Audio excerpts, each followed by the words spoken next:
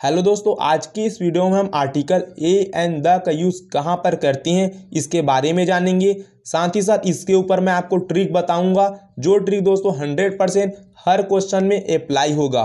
इसके बाद हम पूरा क्वेश्चन सॉल्व करेंगे। चाहे आप टेंथ बोर्ड से हो, चाहे ट्वेल्थ बोर्ड का आप इस समय एग्ज़ाम देने वाले हो, चाहे आप गवर्नमेंट एग्ज़ाम की तैयारी कर रहे हो, चाहे आप कोई भी क्लास से हो, आर्टिकल दोस्तों आप सबके पेपर में लगभग पूछा ही जाता है। तो आर्टिकल को समझना आपके लिए बहुत इंपॉर्टेंट है। पाँच मार्क्स का, दो मार्क्स का यहाँ से क्वेश्चन आते ही हैं। तो चलिए वीडियो को स्टार्ट करती हैं। सबसे पहले हम पढ़ेंगे ए एन का प्रयोग use of a an a an का जो प्रयोग होगा, ये कहाँ पर किया जाएगा? तो आपको इसके लिए बस हिंदी का जो ध्वनि स्वर है, इसको याद रख लेनी है। अ, ई, ए, ओ। शॉर्ट फॉर्म में बोल सकते हो अयो अ, ई, ए, ओ। अ ई ए, ओ, इसको बस आपको याद रख लेना है। और जहाँ जहाँ पर भी इसका उच्चारण होगा, वहाँ हम ए, एन का प्रयोग करेंगे। जैसे कि दोस्तों, आप यहाँ पर लिखा एरोप्लेन।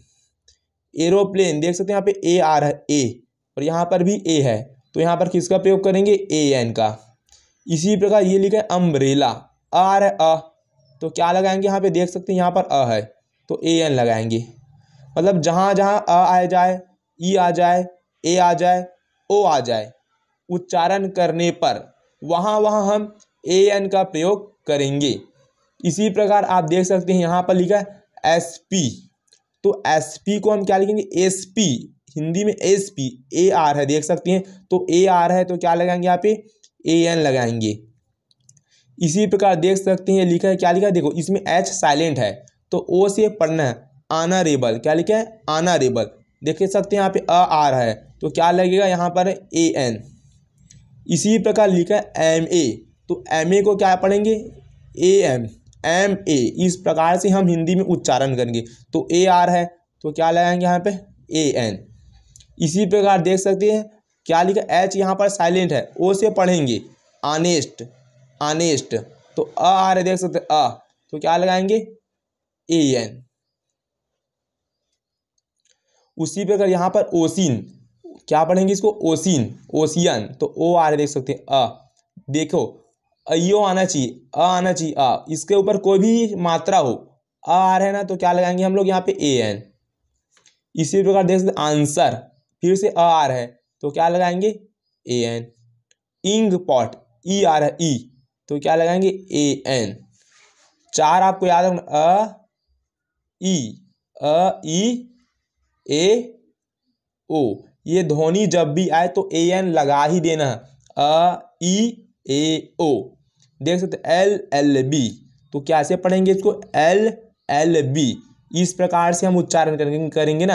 एल एल बी तो एल आ रहा है ए आ रहा है ए देख सकते ए तो क्या लगेगा यहाँ पे? ए एन इसी प्रकार आवर। एच साइलेंट है ओ से पढ़ना है। आवर। क्या पढ़ना आवर। देख सकते अ आ रहा है, अ। तो क्या लगेगा यहाँ पे? ए एन तो इस प्रकार का ए एन का एकदम सिंपल से यूज़ है। बस आपको चार उच्चारण याद रख लेने हैं। अ ई ए, ओ। अ ई ए, ओ। जहाँ पर भी आए, वहाँ ए एन का प्रयोग हम करेंगे। अब ये बोल आनेस्ट में आप तो अ बोले थे, लेकिन यहाँ पे आ आ रहा है। तो इसको मत देखो, सिर्फ़ अ को देखो, अ को। ठीक है? इसी प्रकार देख सकते हैं इंक पॉट ई आ रहा है तो किसका प्रयोग करेंगे? ए एन का। ओसिन आप बोलोगे, आप तो बोले थे अ आएगा। तो ए एन लगाना, यहाँ पर तो ओसिन हो रहा है। तो कुछ मत देखो, अ को देखो, मात्रा को मत देखो। अ, आ रहे ना, अ तो क्या लगेगा? ए एन लगेगा। मात्रा को आपको ध्यान नहीं देना है। बस देखना, शुरुआत में अ, ई, ए, ओ, ये आ रहा है कि नहीं, ये देखो, अगर ये आ रहा है तो बिना सोचे ए एन लगा ही देना है। और ये ट्रिक हर हमेशा काम करेगा। आप बुक ओपन कीजिए और आप ए एन जहाँ पर लगा है, उसका उच्चारण कीजिए। अ ई ए, ओ, ऐसा वहाँ पर ध्वनि होगा तो ही वहाँ पे ए एन लगा होगा, देख लेना। अब हम सीखेंगे use of a a article का प्रयोग कहाँ पर करेंगी?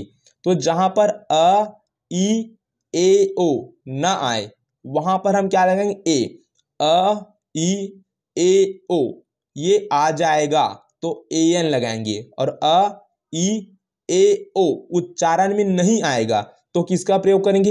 ए का।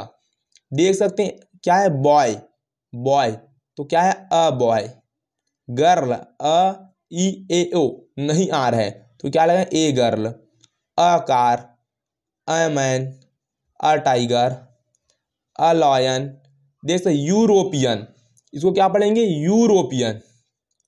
अ, ई, ए, ओ आ रहा है कि देख सकते हैं? देखिए, यू आ रहा है। अ, ई, ए, ओ नहीं आ रहा है तो क्या लगाएँगे ए लगाएँगे, याद रखना ए। इंग्लिश में कई लोग वावल्स को रट लेते हैं ऐसा। A, E, I, O, U. तो यहाँ पर यू आ रहा है, ये समझ के यहाँ पर ए, एन का प्रयोग कर देती हैं। लेकिन ऐसा गलत है। आपको उच्चारण करना है। अ, ई, ए, ओ, सिर्फ़ इतना आएगा तो ही आपको ए, एन का प्रयोग करना है। इसके अलावा कोई भी ध्वनि निकले, वहाँ पर आपको ए का प्रयोग करेंगे, जैसे यूरोपियन तो ए यूनिफॉर्म यू यू तो यू आ रहा है यू तो अ, ई, ए में तो यू शामिल नहीं है तो क्या लगेगा? A uniform useful useful a useful one one देख सकते हैं वाह अ, ई, ए, ओ, अ, ई, ए, ओ शामिल है कि यहाँ पे देख नहीं है वाह है वाह तो पहले ए वन तो इस प्रकार से ए का प्रयोग कहाँ पर करेंगे? जहाँ पर ध्वनि का उच्चारण अ ई ए, ओ नहीं आए, वहाँ पे ए का प्रयोग करेंगे।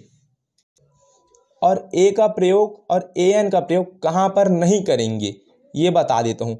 जो भी हमारा प्लूरल होगा, जिसको हम काउंट नहीं कर सकते, वहाँ पर ए और ए एन का प्रयोग नहीं करेंगे। जैसे मिल्क को हम काउंट नहीं कर सकते, वाटर को भी हम काउंट नहीं कर सकते, बटर ऑयल इसको हम काउंट नहीं कर सकते। इसलिए यहाँ पर ए और ए एन का प्रयोग नहीं होगा। यहाँ पर द का प्रयोग होगा। द का, the milk the water the butter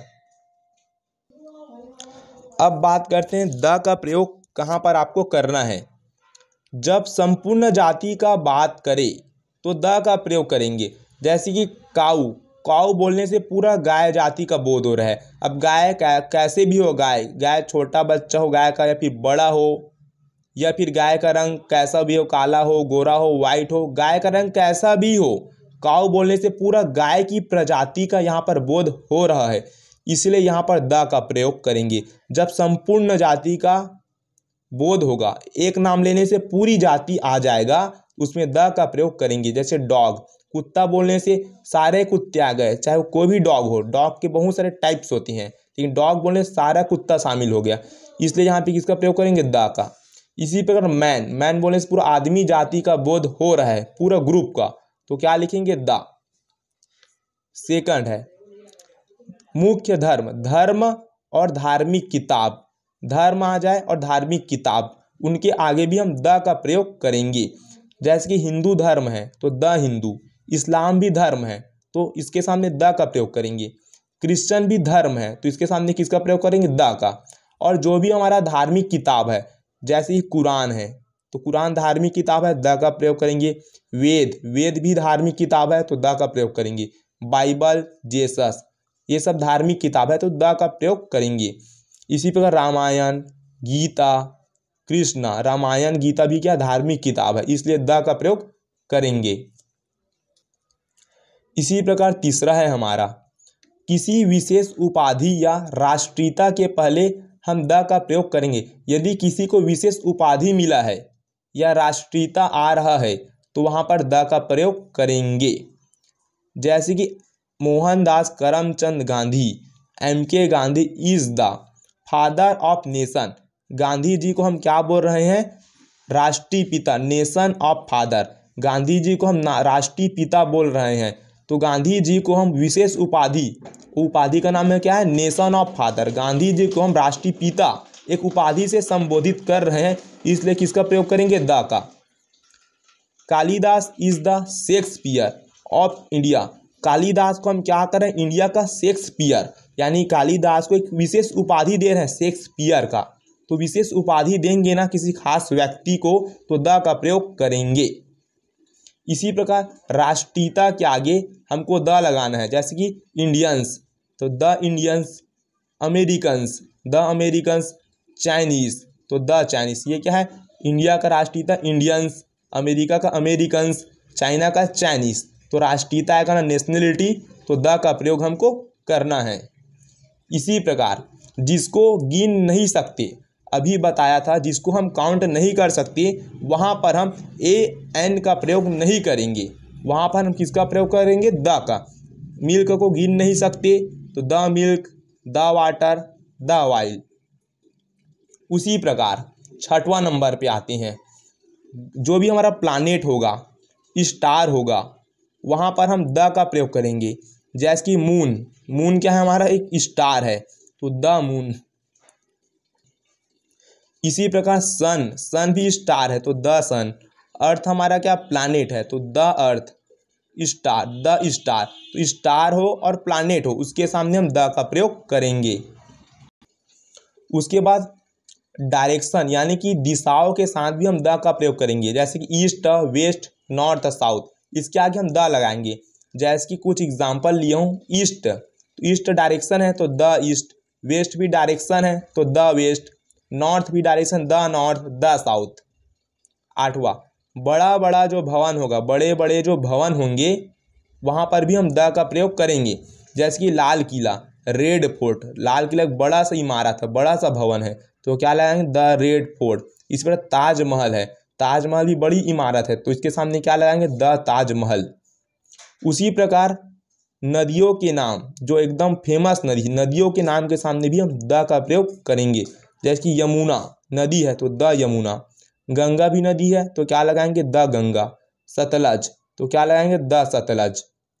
दसवा, जो पहाड़ है, उसके सामने भी हम द का प्रयोग करेंगे, जैसे हिमालय तो क्या लिखेंगे? द हिमालय। शिवालिक द शिवालिक तो ये था पूरा द का प्रयोग। इसी प्रकार द का जो प्रयोग है, एक दो टो क्वेश्चन में आ जाएगा तो वहाँ पर आपको मैं बता दूँगा। कुछ खास चीज़ रहेगा क्वेश्चन में। तो चलिए अब हम ए एन और द। इसके ऊपर अब हम क्वेश्चन करते हैं। और देख पाते हैं कि आप कितना यहाँ से टिक कर पाते हो। तो पहला क्वेश्चन है हमारा। सी इज़ कॉलेज स्टूडेंट तो she is a college student देखो अ ई ए ओ यदि ये आए उच्चारण करने पर तो ए एन लगाएँगे। इसके अलावा कोई दूसरा आ जाए तो ए लगाएँगे। और द का प्रयोग तो आपको बता ही दिया हूँ। दूसरा दिस इज़ काउ काउ मैं अभी बताया था काउ क्या है? जिससे संपूर्ण जाति का बोध हो, वहाँ क्या लगाएँगे हम? द। तो काउ बोलने से सारे गाय का बोध हो रहा है तो क्या लगाएँगे? द। तीसरा ही गेओमी देखो, आपको ना जब भी आर्टिकल दिया रहेगा तो जो फिलिंग द ब्लैंक होगा, उसके इधर का उच्चारण करना। इधर का कुछ भी नहीं देखना है, आपको सिर्फ़ इधर का देखना है, इस फ़र्स्ट वाला वर्ड वन आ रहा है, क्या रहा है? He gave me one hundred rupee note वाह रहा है, वाह। तो क्या लगेंगे? वन हम पढ़े थे वहाँ पे ए का प्रयोग होगा। सी इज़ यूरोपियन गर्ल कौन सा गर्ल यूरोपियन यू आ रहा है यू तो अ ई ओ अयो नहीं आ रहा है तो क्या लगेगा? ए लगेगा। मिस्टर किशोर इस एम एल ए इसको क्या लिखेंगे? एम एल ए तो देख सकते हैं ए आ रहा है ए अयो ए आ रहा है तो क्या लगाएँगे? ए एन मोहन इस देख सकते ये थोड़ा सिक्स नंबर का अलग है, आपको याद रख लेने हैं। बोर्ड एग्ज़ाम में पूछा गया था। Mohan is filling the blank only son of mister Verma. Mohan जो है मिस्टर वर्मा का एक लौता सन है। मतलब मोहन जो है मिस्टर वर्मा का क्या है? एक बेटा है। तो ये एकदम फिक्स है, एकदम सत्य है ट्रू है। तो क्या लगाएँगे यहाँ पे? द का प्रयोग करेंगे। बस ये याद रखना, जब भी यहाँ पर जब भी किसी का नाम दिया होगा और सन दिया होगा और यहाँ पे उसके पिताजी का नाम दिया होगा तो क्या लगाएँगे? The. Mohan is the only son of mister Verma. नाम चेंज हो जाएगा, लेकिन ऐसी क्वेश्चन में आएगा, द लगाना है यहाँ पे। ये याद रख लेना है आपको, सातवा। देख सकते सन आया सन आया है तो सन के सामने सन हमारा क्या है? तारा स्टार है और स्टार के सामने हम द का यूज़ करेंगे। आठवा। The Ganga is holy river मतलब गंगा जो है, होली यानी कि होता है पवित्र। गंगा गंगा जो है पवित्र नदी है, पवित्र रिवर है। तो इसके सामने किसका प्रयोग करेंगे हम? ए का। द का प्रयोग नहीं करेंगे। देखो, कई लोग क्या सोचते हैं, गंगा आ गया तो यहाँ द का प्रयोग करेंगे, ऐसा नहीं है। गंगा आया तो गंगा के सामने पहले से ऑलरेडी द का प्रयोग है। ठीक है ना? तो यहाँ पे द नहीं करना है। जब भी होली आया, जब भी होली आया ना, आपको सिर्फ़ इधर को देखना है। होली आया तो ए का प्रयोग करेंगे, हमेशा याद रखना। होली आया तो किसका प्रयोग करेंगे? ए का प्रयोग करेंगे। उसी पर नाइन्थ नंबर है। Mister George is union leader. Mister George is union leader. Mister George is the union leader. देखो, यूनियन मतलब संघ, एक समूह की बात हो रही है। और जब समूह की बात होती है तो एक जाति आ जाता है। समूह मतलब झुंड ना। मिस्टर जॉर्ज क्या है? यूनियन का लीडर है, एक संघ का नेता है। तो क्या लिखेंगे? द। हमेशा याद रखना, यूनियन जब भी आए ना तो क्वेश्चन पढ़ लेना, द लगाना है आपको। Mister Rahul is H silent honourable क्या पढ़ेंगे इसको? अनरेबल तो अ आर है। किसका प्रयोग करेंगे? ए एन का। Sita met, one. आइडमेंट on the way one R है वह तो क्या लगाएँगे? ए द ट्रेन इज़ खालिस्तान आवर लेट। एच साइलेंट है आवर आर अ तो a an I have fill in the blank watch I have a watch my father was a liar फिर यहाँ पर the cow is useful animal the cow is आ अब यहाँ पे मत सुनो काउ आ रहा है तो द लगा दिया ऐसा नहीं। काउ के सामने ऑलरेडी द लगा है, ये भूलना मत। The cow is useful animal सोलह number I see a girl on fill in the blank road I see a girl on the road याद रख लेना इसको. I see a girl on the road खाली fill in the blank boy is going to school तो boy आ रहा है. Boy से बॉय जाति का पूरा पूरा बोध हो रहा है. तो क्या लिखेंगे? द बॉय बॉय से पूरी जाति का बोध है पूरे बॉय जाति का. The sun rise in the east. क्या लिखेंगे ईस्ट क्या है? डायरेक्शन। और डायरेक्शन के सामने हम क्या लगाएँगे? द। इसी प्रकार देख सकते हैं। She is fill in the blank अगली गर्ल। कमेंट बॉक्स पर इसका आंसर आप कमेंट कीजिए। बीसवा। Sanskrit is difficult language. जब भी किसी लैंग्वेज की बात होगी तो द लगाएँगे। देख यहाँ पे थोड़ा अलग टाइप का पूछा गया। संस्कृत क्या है? डिफ़िकल्ट लैंग्वेज बोलो। संस्कृत मतलब कठिन भाषा ऐसा कहा गया है। कठिन भाषा है। तो क्या लगाएँगे? द। संस्कृत की जगह सब्जेक्ट चेंज करके हिंदी देख सकते हिंदी इज़ डिफ़िकल्ट लैंग्वेज तो द लगाएँगे। इंग्लिश इज़ डिफ़िकल्ट लैंग्वेज तो द लगाएँगे। He is filling the blank best boy in our class जब भी बेस्ट आए, उसके सामने क्या लगाना है आपको? द। देखो, यहाँ पर क्या बोल रहा है कि वह एक क्लास का बेस्ट लड़का है बोला मतलब एक क्लास में उसको बेस्ट बता रहे हैं। एक पूरा ग्रुप में एक को बेस्ट बता रहे हैं। तो क्या लगाएँगे? द लगाएँगे। She lives in apartment, R apartment तो क्या लगाएँगे? A, an. R, a. We saw a movie last Sunday, honesty is best आएगा तो क्या लगाएँगे? देख सकते बेस्ट आया तो द लगाए बेस्ट आया तो क्या लगाएँगे? Honesty is the best policy. तो ये था कुछ इंपॉर्टेंट क्वेश्चन जो पूछे गए थे। तो बोर्ड एग्ज़ाम के लिए सारे क्वेश्चन बहुत इंपॉर्टेंट है। टेंथ बोर्ड, ट्वेल्थ बोर्ड में ये क्वेश्चन आए थे, तीन साल का क्वेश्चन मैं लिया था। और पूरा ट्रिक जो था, हमेशा अप्लाई होगा। आप बोर्ड की बात करें, चाहे कोई भी कॉम्पिटिशन एग्ज़ाम की बात करें, जो ए एन का जो प्रयोग है, अ ई ए ओ जो अ ई ए ओ बहुत इंपॉर्टेंट है। हमेशा ये कारगर सिद्ध होगा। आप कहीं पर भी अप्लाई कीजिए। कभी भी आप ए ई आई ओ यू ये वावल से आप कभी भी आर्टिकल बनाइए मत, नहीं तो हमेशा आपका गलत होगा। आप ध्वनि का उच्चारण कीजिए, अ ई ए, ओ। अगर ये आ जाए तो ए एन लगाना, ये ना आए तो ए लगाना। और बाकी जगह आपको द लगाना है। और कुछ जगह था जो आपको मैं बताया था, द कैसे और कहाँ लगाना जैसे बेस्ट आया तो आपको वहाँ पर द का प्रयोग करना है। और एक पिता का, एक पिता का एक बेटा था, ये भी एकदम ट्रू बात था तो द लगाए थे। ये सब याद रखना यूनियन आ गया तो द लगाना है, क्योंकि यूनियन एक पूरा संघ को बता रहा है, एक जाति टाइप को बता रहा है तो जो जाति को आप बोध कराएगा, वहाँ हम द लगाएँगे। तो इस टाइप को आपको याद रख लेने हैं, और बोर्ड एग्ज़ाम में यहाँ से एक मार्क्स दो मार्क्स के आते ही हैं। तो इस वीडियो में इतना ही, और कोई डाउट होगा तो कमेंट बॉक्स पर आप कमेंट कर सकती हैं।